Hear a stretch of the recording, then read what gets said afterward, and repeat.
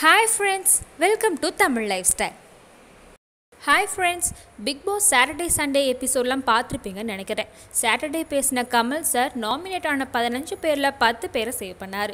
அதில் ஃபர்ஸ்டாக ராஜுபாய் பிரியங்கா இமான் அண்ணாச்சியை சேவ் பண்ணார். அதுலேருந்தே ஹவுஸ்மேட்ஸுக்கு தெரிஞ்சிருக்கும். அவங்க தான் ஓட்டிங்கில் ஹையஸ்ட்னு அதுக்கப்புறம் மிச்சம் இருந்த பத்து பேரை அஞ்சு குழுவாக பிரித்து ஒவ்வொரு குழுலையும் ஒவ்வொருத்தரை சேவ் பண்ணார். சாட்டர்டே எபிசோடில் கடைசியாக நாடியா அபிஷேக் ராஜா சின்ன பொண்ணு வருண் அண்ட் மதுமிதா டேஞ்சர் ஜோனில் இருந்தாங்க. அடுத்து லாஸ்ட் வீக்கோட பெஸ்ட் அண்ட் வேர்ஸ்ட் பெர்ஃபார்மரை பற்றி கமல் சார் சண்டே எபிசோடில் கேட்டார். அதுக்கு பதில் சொன்ன அபிஷேக் பெஸ்ட் பெர்ஃபார்மராக அண்ணாச்சியையும் காணாமல் போனவர்களில் சின்ன பொண்ணு அண்ட் நாடியாவை செலக்ட் பண்ணியிருக்கிறதா சொன்னார். அதுக்கு கமல் சார் இது உங்களோட முடிவா இல்லை மூணு பேரும் சேர்ந்து எடுத்ததான்னு கேட்டு அபிஷேக்கு நோஸ் கட் வேற கொடுத்தாரு. இதுக்கப்புறம் நாமினேஷனில் இருந்த லாஸ்ட் அஞ்சு பேரில் மதுமிதா சின்ன பொண்ணு வருணை அடுத்தடுத்து கமல் சார் சேவ் பண்ணார். லாஸ்ட் நாடியா அண்ட் அபிஷேக் இருந்தாங்க. அப்போ அபிஷேக் மூஞ்சில் ஒரு விதமான பயம் இருந்தது நல்லாவே தெரிஞ்சது. ஏன்னா முன்னாடி ஒரு நாள் பாவ்னி கிட்ட நான் இன்னும் விளையாடவே ஸ்டார்ட் பண்ணல. ஸ்டார்ட் பண்ணால் ஒருத்தன் இங்கே இருக்க முடியாது. எல்லாரையும் வீட்டுக்கு அனுப்பிடுவேன்னு சொடக்கு போட்டு ரொம்பவே திமிரா பேசினது ஆடியன்ஸை ரொம்பவே கடுப்பேத்திடுச்சு. அதனால தான் என்னவோ அபிஷேக் இப்போ லீஸ் டூவில் இருக்க காரணமாக அமைஞ்சிருக்கு.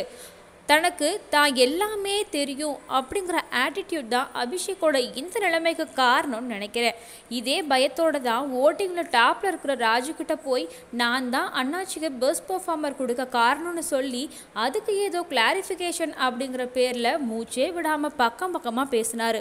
அப்பயே தெரிஞ்சிடுச்சு அவர் எவிக்ட் ஆகிடுவோம் அப்படிங்கிற பயத்தில் வளருறாருன்னு கடைசியில் கமல் சார் நாடியா நேம் இருக்கிற கார்டை காமிச்சதுக்கு அப்புறமா அபிஷேக் ஒரு பெருமூச்சு விட்டு விட்டாரு பார்க்கணுமே. தப்பிச்சோண்டா சாமி அப்படிங்கிற மாதிரி இருந்துச்சு. அது வரைக்கும் அபிஷேக் மூஞ்சியில் ஈ ஆடலை.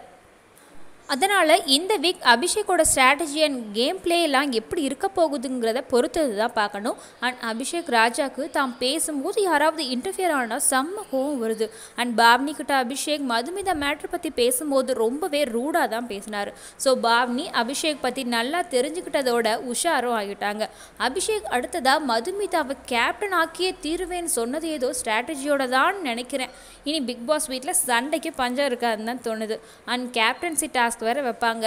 அது மூலமாக இன்னும் எத்தனை ஃபைட் வரப்போகுதுன்னு தெரியல. டுடே அப்லோட் பண்ண ஃபர்ஸ்ட் ப்ரோமோவில் நாமினேஷன் ப்ராசஸ் நடக்குது. ப்ரோமோ லாஸ்ட்டில் ராஜுபாய் பிரியங்கா ஃபுல் நேம் கேட்டுட்டு உள்ளே போய் பிரியங்கா பேரை சொல்கிற போகிற மாதிரியே ஆக்ட் பண்ணது பார்க்க நல்லா இருந்தது. இந்த சீசனில் ராஜுபாய்க்கு நிறைய ஃபேன்ஸ் கிடைக்க போகிறாங்க அவர் ஃபைனல் வரைக்கும் வர ரொம்பவே சான்ஸ் இருக்குன்னு தான் தோணுது. இந்த வீடியோ உங்களுக்கு ரொம்பவே பிடிச்சிருக்குன்னு நினைக்கிறேன். ஸோ லைக் பண்ணுங்கள் ஷேர் பண்ணுங்கள் மறக்காமல் கமெண்ட் பண்ணுங்கள் அது மட்டும் இல்லாமல் அங்கே பக்கத்தில் இருக்கிற பெல் ஐக்கானையும் கிளிக் பண்ணிவிடுங்க